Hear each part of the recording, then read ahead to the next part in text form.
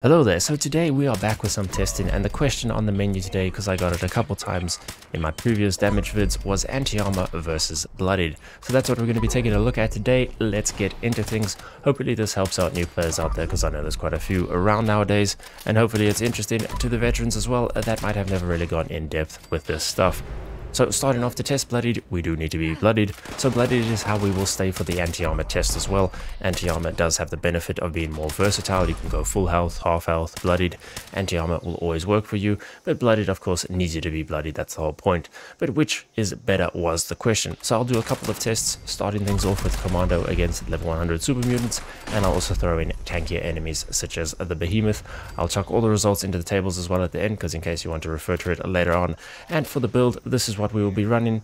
Nothing that's going to increase our damage over time, so no Tenderizer or Adrenaline or Follow Through, none of those perk cards, just some Nerd Rage, Tank Killer, 1 star and Commando perks, Bloody Mess, just straight up additive bonuses, and some Covert Op because we will be sneaking, but I will put up results for non-stealth as well, so don't worry and we'll also take a look at Rifleman and Heavy Gunner. But getting into things, it's quite interesting on the regular enemies. For both the Bloodied and Anti-Armor, we are sitting at 3 shots to take down the level 100 Super Mutants.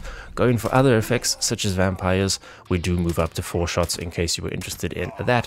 Where things get a bit interesting and different is when we go for crit shots, and of course the tankier targets, but I'll get into that in a moment. But for the crit shots, as you can see, Bloodied is doing slightly less than the Anti-Armor. So Anti-Armor actually having the advantage there when you are going for your crit shots, so keep that in mind.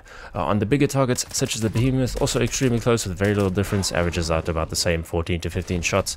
Again, the crit shot on the anti-armor doing more, so if you're including crit shots, then you will be doing more damage on the bigger enemies with, you know, bigger health bars and more resistance. But you could also argue that against bosses, does it really matter too much? Fallout isn't exactly a hard game, even a tiny group can get the bosses killed no problem. As long as you're doing decent damage, you're fine. So unless you're a solo boss killer type player and that's what you're striving for and, you know, minimum max in. This is why a lot end up just going complete quality of life builds instead. Uh, when things were multiplicative and you could absolutely wreck a boss in a few shots with a meat hook, those were different days, but cards were a lot different then. Nowadays, different story. So anti-armor and bloodied extremely close. Anti-armor gets a bit more on the crit shot compared to bloodied, and this is stealth, but when you're not stealthing, then bloodied takes the win. And on non-stealth, the crit shots seem to be the same for the commando, both on anti-armor and bloodied, so I don't know if that's just Fallout being Fallout, or if that's just how Commando likes to roll, but do keep that in mind.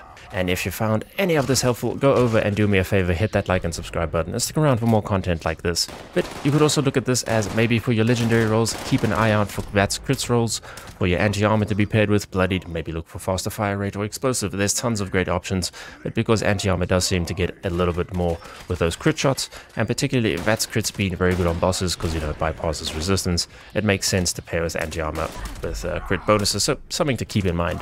But over to stuff like Rifleman and Heavy Gunner, it's a similar story, extremely close. Heavy Gunner, of course, not exactly something that you use in VATS generally besides stuff like the Plasma Caster.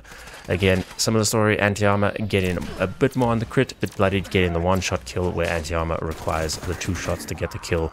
So Bloodied performing a bit better in Heavy Gunner, also with the 50 cal, very close, but Bloodied just ahead ever so slightly. Rifleman, same situation as Commando in stealth, exactly the same, two shots to kill for both, but out of stealth, then Bloodied does a bit better. Uh, automatic melee, vampires, literally that's all that needs to be said.